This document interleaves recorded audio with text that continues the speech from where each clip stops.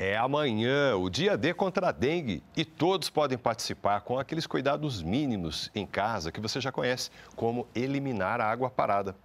E esta mobilização é mais do que necessária, já que o Brasil ultrapassou um milhão de casos da doença, segundo o Ministério da Saúde.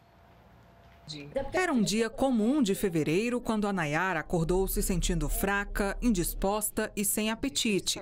Logo depois vieram a febre alta, enjoo e dores no corpo. Os sintomas persistiram por 10 dias até que ela resolveu procurar um médico. É uma moleza, é, é horrível. Você não consegue se alimentar, você não tem força para levantar tudo que você coloca na boca amarga é como é horrível. eu não conseguia comer. É, eu estava me alimentando de coisa doce, que era o que amenizava o amargo na boca, sabe? Coisa doce, leite e água.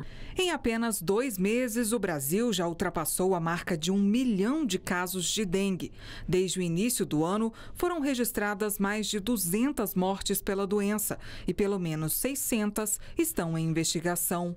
Neste sábado, dia D contra a dengue, o Ministério da Saúde, em parceria com estados e municípios, vai formar uma verdadeira força-tarefa em cada canto do país para combater e eliminar os focos do mosquito Aedes aegypti. Até agora, seis estados já decretaram situação de emergência por causa da dengue. Acre, Goiás, Minas Gerais, Espírito Santo, Santa Catarina, Rio de Janeiro e o Distrito Federal, além de 154 municípios.